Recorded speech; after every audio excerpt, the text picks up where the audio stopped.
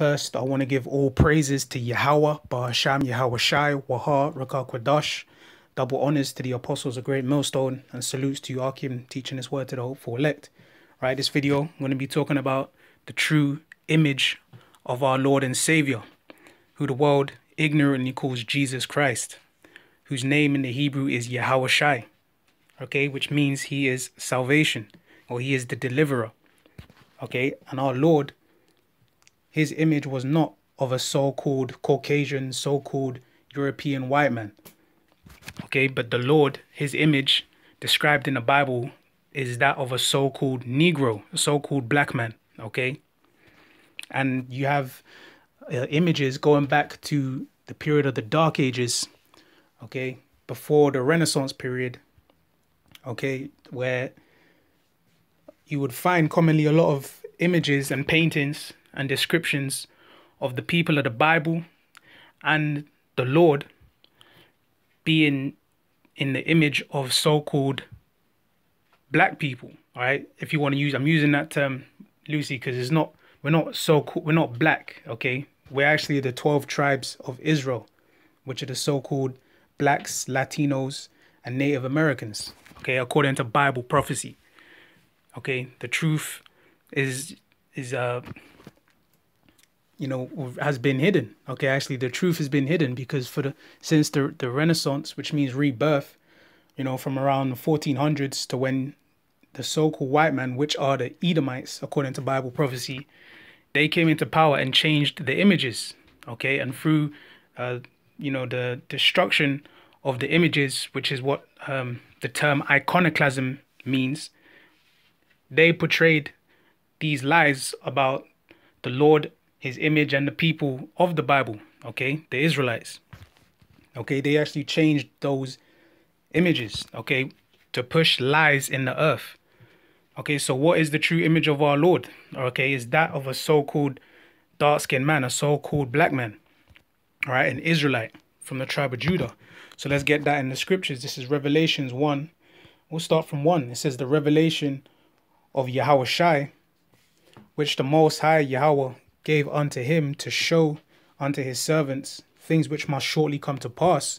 And he sent and, sig- and signified it by his angel unto his servant John. Okay, so we know the Bible is a book of prophecies, right? Things uh, which are said before they come to pass. Okay, and this is what uh, being revealed unto John the Revelator. Okay, now this is uh, the revelation, which means revealing, okay, of our Lord and Savior Yahweh Shai. Okay, so let's go down to verse 13, okay, where it reads, And in the midst of the seven candlesticks, one like unto the Son of Man, which the Son of Man is our Lord and Savior Yahweh Shai, okay, and the seven candlesticks represents the seven churches that was set up, all right. Um, but this is talking about our Lord, all right, the Son of Man, which is Yahweh Shai. Okay, it says, clothed with a garment down to the foot, and girt about the paps with a golden girdle. So we know that our Lord was an actual man that came in the flesh, and he wore a garment. Okay, he wore clothes. All right, this is describing it. He was wearing it down to the foot, which he would have had fringes on it. All right, that's a, a part of the uh, Israelite customs. Okay, now it says, and girt about the paps with a golden girdle, which is a golden, like, uh, belt, okay, around his garment. All right. And verse 14 says, his head and his hairs were white like wool. So that's talking about the hairs that was on his head, okay, which is being described as like wool. So that's talking about the texture of his hair being like wool right? And now who has woolly hair? Who has that textured hair? That's so-called Negro, so-called black people, okay? So-called African American, right? Which that would be considered an afro, okay? So that's talking about the hairs on his head. And it says, and his hairs. So if it says his head and his hairs, that would be talking about the hairs on his face, all right? Which is another custom of, Is- of Israelites, which is to have their beards okay which this is letting you know that the appearance of it was white in color Okay, so that's letting you know his ethnicity. He's telling you his image. How does he look? All right, and it says, and his eyes were as a flame of fire. Okay, now that's talking about how, uh, you know, the whites of his eyes appeared red. Okay, and our Lord was known to drink wine as well. Okay, and verse 15 goes on to say, and his feet. All right, so this is still describing the image of our Lord. Right, we know what his hair texture is like, what the, the color is. All right, his eyes. Now it's talking about his feet. Right now it says his feet like unto fine brass. Okay, so that's talking about the color. So the, the Lord, he was a man of color. Right, it's describing him as having color. It says his feet like unto fine brass. Okay, so the same color that your feet is is going to be the same color as your whole skin. So this is talking about how our Lord looked, all right, his color. But it goes on to tell you, it says, and his feet like unto fine brass, as if they burned in a furnace. So that's telling you that the complexion of our Lord was very dark skinned. All right.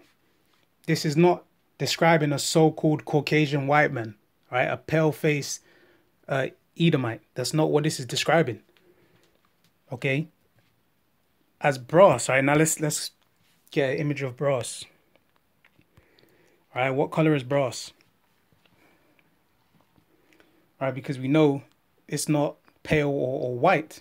Okay, that's color. All right, and it can go on from even like a brown or even darker. Okay. Let's see, let's type in burnt brass.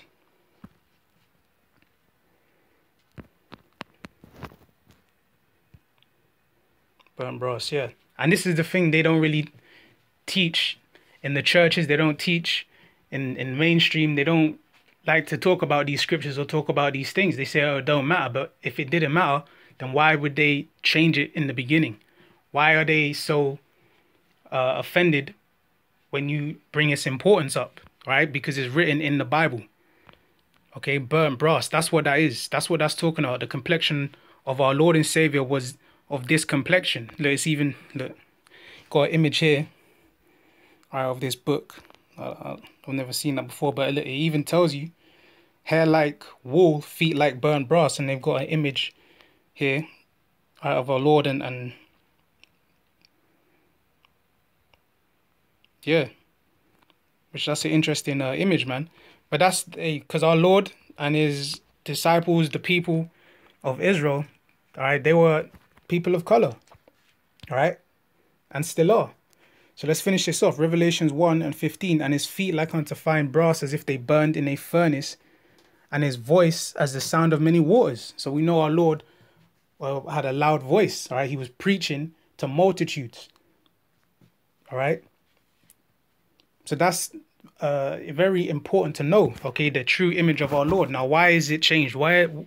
What has happened to where now most people think he looks like. Uh, uh, like you know, you know, the, just your your local pale pale pale face so-called white man down the street.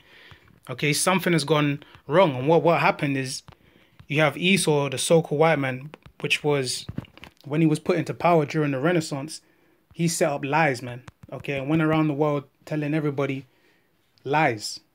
Okay, which is written in the scriptures as well. This is Job 9 and 24. The earth is given into the hand of the wicked Okay, the rulership, the power and authority has been given over to these Edomites.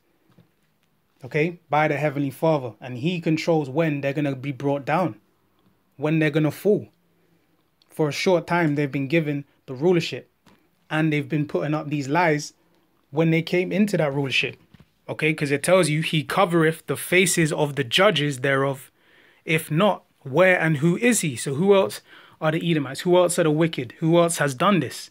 Who else has covered the faces of the Israelites, covered the faces of the, the Heavenly Father and the Lord and Savior? All right, the true judges. Who's covered their, their images, their faces? Okay, going back to this image here, going back to iconoclasm. All right, the destruction of images. Changing the images from being so-called black, so-called dark skin, or, you know, dark skin images to pale images. Okay, so-called white, Caucasian. so, you know, that's a part of the truth. Okay, and Esau is being revealed. He's being exposed. All right, that's how we know that we're at the end and his time to rule is nearly uh, at the end. Okay, because his truth is being revealed.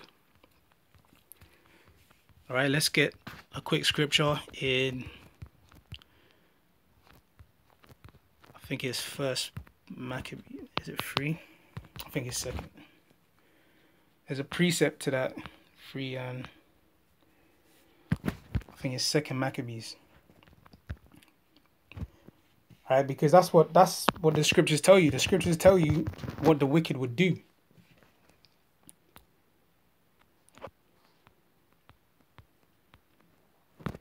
I two forty-eight. So like, God, I've got the precept. I always get mixed up with this one, but it's First Maccabees, chapter three and forty-eight. It says, "And laid open the book of the law," right, which is talking about who these Edomites, okay, the wicked, right. That's what they've done. They laid open the book of the law, which is the Holy Bible, okay, which tells you the image of our Lord, which tells you the, the image of, of the people of of the Lord. All right. Which uh you know uh, Judah uh what is blackened uh onto the ground. All right, um in Jeremiah, let me get that real quick. Yeah, Jeremiah chapter 14 and verse 2. Right, it says Judah mourneth, and Judah is the the head tribe of the twelve tribes of Israel. Okay, which our Lord uh, sprang out of the tribe of Judah, which is what the scriptures tell you. Okay, Judah mourneth, and the gates thereof languish. All right, the leadership of our of our people. Okay, of Judah languish.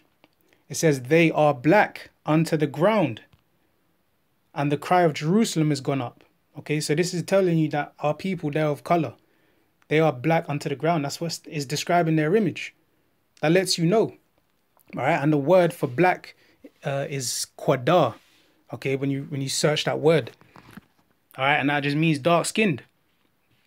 All right, so the people of Judah, the people, you know, um, of the Lord, right? They have color. All right, when you go into the scriptures. Now we've been scattered through many captivities, and, and our seed has been scattered throughout the nations but we understand that it's according to the seed which makes you go back unto Israel. All right, our forefathers. All right, so let me go back into First Maccabees 3 and 48. It says, And laid open the book of the law, all right, the Holy Bible, wherein the heathen had sought to paint the likeness of their images iconoclasm. Okay? They removed the images found in uh, cathedrals and temples and churches from the Dark Ages before the Renaissance period, and they changed it to being what you would see, uh, you know, commonly in the church and what you see in in um, in Brazil. You know, all these idols and these statues of a false image of our Lord. All right. So yeah, I'm gonna leave it there. Lord willing was edifying. Okay, this is a part of the truth, and we teach that. Right, the image of the Lord matters. Okay, because the Lord had put that information in the scriptures in the Holy Bible. All right, and it was prophecy that His image would be changed. So now it's prophecy that the truth is being brought out. Okay, so I'm gonna end it there. Uh, all praises to Yahweh Shem Shai Waharaka Kodash and to the hopeful elect. Shalom.